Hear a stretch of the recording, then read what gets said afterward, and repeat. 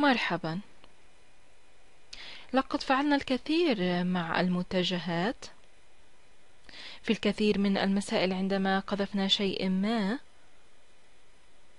في مسائل حركة المقذوفات وعندما قمت بحل المسائل عن سطح المائل دائما تعاملت مع المتجه كما أنني سوف أرسم متجه مثل هذا. سوف أقول أن شيء له سرعة مقدارها عشرة متر ويميل بزاوية مقدارها ثلاثون وسوف أحللها إلى المركبة السينية والمركبة الصادية.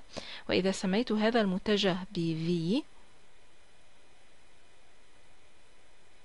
هذا المتجه ب V سوف يكون له لهذا المتجه آه، هنا آه، مركبة آه، سينية وهي Vx وهو المتجه الموجود هنا لليمين المركبة السينية لهذا المتجه. و Vy سوف يكون المركبة الصادية للمتجه ويمكن أن يمثل بهذا المتجه. إذا هذه هي Vx وهذه هي Vy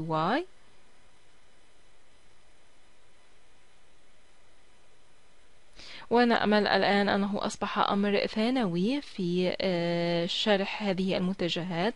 Vx تساوي عشرة ضرب جيب تمام هذه الزاوية. إذا عشرة جيب تمام الثلاثون والتي أعتقد أنها تساوي الجذر التربيعي لثلاث مقسوم على اثنان ولكن لست قلقا في هذا. Vy سوف تكون عشرة ضرب جيب تلك الزاوية. ونأمل أن هذا بديهي لك. وإذا لم يكن يمكنك الذهاب إلى سوا كتوا آه، جيد. جيب 30 درجة هو المقابل. ويمكنك الحصول على ذلك ولكننا قمنا بمراجعة كل آه، ذلك في الفيديوهات الأولى عن المتجهات. ولكن ما أريد فعله لأن هذا مفيد. في حركة المقطوفات البسيطة عندما تبدأ بالتعامل مع متجهات أكثر تعقيدا وربما تتعامل مع عدة متجهات لمتجه ومتجهات في ثلاثي الأبعاد وتبدأ بالتعامل مع الجبر الخطي في عدة أبعاد ونحن نحتاج لطريقة شاملة. طريقة تحليلية بدل من رسم صور للمتجهات الممثلة. إن الذي سوف أفعله استخدام شيء يسمى أعتقد أن كل شخص يسمي هذا بمتجه الوحدة ماذا نعني بذلك؟ إذا إذا قمنا بتعريف بعض هذه المتجهات دعني أرسم بعض المحاور ومن المهم جدا معرفة إن هذا آه، لا يربكك في البداية ولكن آه، هذه المسائل الفيزيائية التي حللناها في البداية آه، دعني أرسم المحاور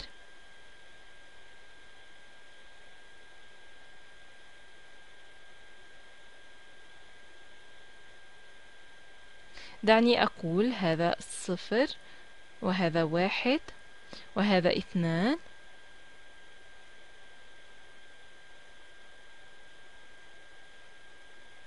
إذا صفر واحد اثنان لا أعلم إذا كان يجب أن أكتب هذا أو أن أكتب شيئا آخر. دعنا نقول آه هذه واحد اثنان في الاتجاه العمودي أي الصادي. أنا سأقوم بتعريف ماذا نعني بمتجه الوحدة آه، في بعدين. إذا أولا سأقوم بتعريف المتجه وسوف أسمي هذا المتجه ب I وهذا هو المتجه.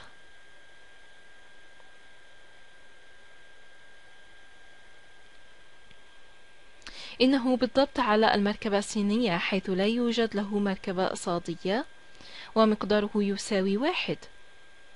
إذا هذا هو I. ونميز بين متجه الوحدة من خلال وضع آه، وضع علامة كقبعة صغيرة فوقه. آه، نستعمل هذه الرموز. أحيانا في بعض الكتب سوف تشاهد آي بدون قبعة إنها فقط حروف. وهناك رموز وغيرها ولكن إذا شاهدت آي إنه ليس بالمعنى رقم وهمي. يجب أن تدرك أنه متجه الوحدة. مقداره واحد واتجاهه بالكامل في الاتجاه السيني. وسوف أقوم بتعريف المتجه الآخر وهو يسمى J وهو نفس الشيء لكنه في الاتجاه الصادي. ذلك هو المتجه J. ونضع قبعة صغيرة فوقه. إذا لماذا فعلت ذلك؟ جيد. أنا أتعامل في بعدين وبعدها سوف أتعامل مع ثلاثة أبعاد. آه، إذا آه، سوف يكون في ثلاثة أبعاد وسوف نسميه K لكن لا تقلق في ذلك الآن. ولكن إذا كنا نتعامل مع بعدين يمكن أن نعرف آه، أي متجه بدلالة أي متجه من هذين المتجهين. إذا كيف نفعل ذلك؟ جيد. هنا متجه دعنا نسميه V. هذا المتجه V هو مجموع مركبته السينية زائد مركبته الصادية. عندما تجمع متجهين يمكنك وضع الرأس على ذيل مثل هذا وذلك هو المجموع. إذا نأمل أنك تعرف ما آه، نفعل. المتجه V يساوي مركبته السينية زائد مركبته الصادية. زائد مركبته الصادية. عندما تضيف متجهات فإنك تقوم بالجمع والناتج هو في نهاية المطاف آه، هذا. سيكون صحيح. سوف يكون إذا أضفت هذا المتجه ووضعت آه، هذا الذيل على هذا الرأس ونهاية هذا إلى بداية هذا. إذا ذلك هو المتجه. إذا يمكننا أن نعرف Vx كمتعدد ل I لمتجه الوحدة. جيد بالتأكيد. Vx بالكامل اتجاهها في, في الاتجاه السيني. صحيح. ولكن لا تحمل مقدار واحد. لها مقدار عشرة جيب ثلاثون درجة. إذا مقدارها هو عشرة. دعني أرسم متجه الوحدة فوق هنا. هذا متجه الوحدة I. وسوف تكون شيء يشبه هذا أو هذا. إذا Vx بالضبط في نفس الاتجاه. وهو آه، نسخة مصغرة في هذا المتجه آه، وما متعدد متجه الوحدة. جيد متجه الوحدة لديه مقدار واحد. هذا له مقدار عشرة جيب تمام الثلاثون درجة. أعتقد هذا مثل خمسة جذر التربيعي لثلاث. شيء مثل ذلك. إذا يمكن كتابة Vx سوف آه، أغير اللون. حسنا لأن هذا شيء ممتع.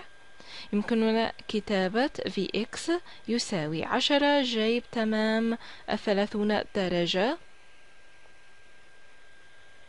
ضرب هذه الدرجات ضرب متجه الوحدة. حسنا ضرب متجه الوحدة. متجه الوحدة I هل هذا منطقي؟ جيد متجه الوحدة I يذهب في نفس الاتجاه. لكن المركبة السينية لهذا المتجه أطول بكثير. آه، إنها عشرة جيب تمام الثلاثون آه، أطول. وذلك يساوي عشرة جيب تمام الثلاثون درجة ويساوي الجذر التربيعي آه، لثلاثة لثلاثة على اثنان.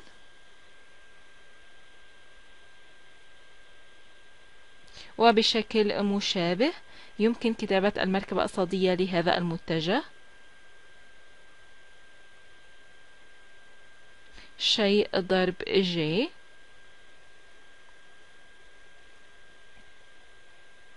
إذا يمكننا كتابة Vy جيد هذا يساوي آه، ما جايب الثلاثون؟ آه، جايب الثلاثون درجة يساوي نصف.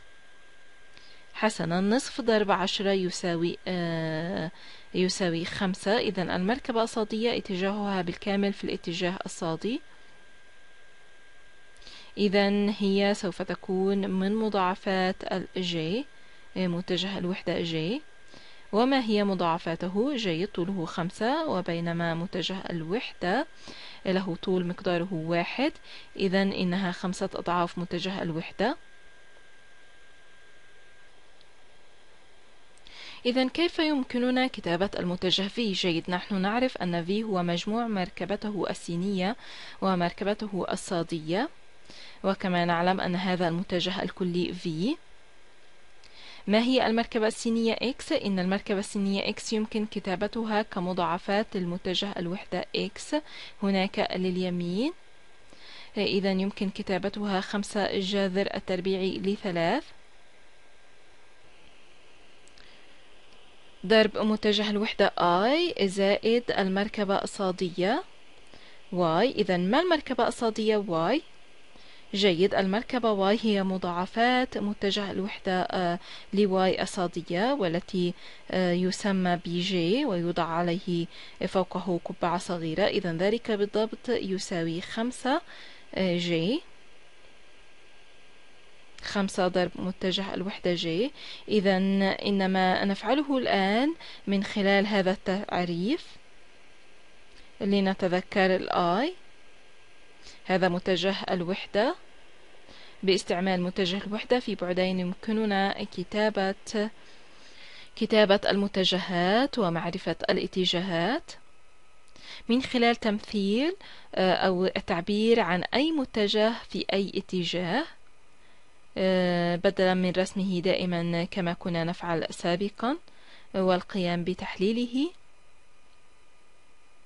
تفعل ذلك دائما بصريا. يمكننا أن نبقي في نظام التحليل وليس نظام الصور. وما يجعله مفيدا جدا إنه إذا كان لدي إذا كان لدي متجه بهذه الصيغة يمكنني جمعه وطرحه دون الحاجة إلى اللجوء إلى الوسائل البصرية.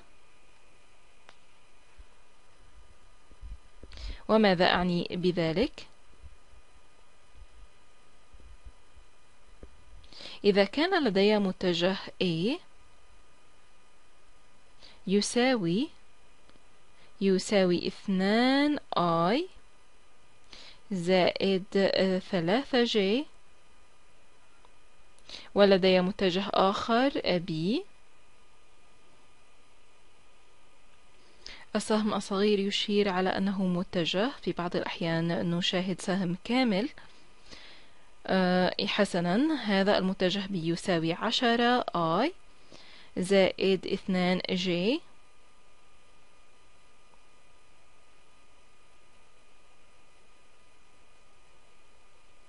إذا أردت أن أقول ما مجموع هذين المتجهين المتجه A زائد المتجه B ولكن قبل أن يكون لدينا الرمز هذا المتجه يجب علينا رسمها ووضع الرأس على الذيل. آه، كان عليك القيام بها بصريا وسوف آه، تفعل ذلك. ولكن عندما تقوم بتحليلها إلى المركبة السينية والمركبة الصادية يمكنك فعل ذلك بشكل منفصل. إذا المتجه B زائد المتجه A يساوي اثنان زائد عشرة ضرب متجه الوحدة I. زائد ثلاثة زائد اثنان ضرب متجه الوحدة ج وذلك يساوي اثنى عشر I زائد خمسة ج والشيء ما ربما نريد عمله سوف أفعله في الفيديو المستقبلي بالواقع رسم هذين المتجهين وجمعهم بصريا وسوف تشاهد أنك تحصل على الإجابة بالضبط. وسوف نذهب إلى الفيديوهات المستقبلية. وسوف ترى كيف هذا مفيد جدا عندما نبدأ بمسائل فيزيائية معقدة أو أننا نبدأ بالفيزياء مع تفاضل وتكامل. على كل حال قريبا سوف أتعدى الزمن. ولذلك سوف أراكم في الفيديو التالي. إلى اللقاء.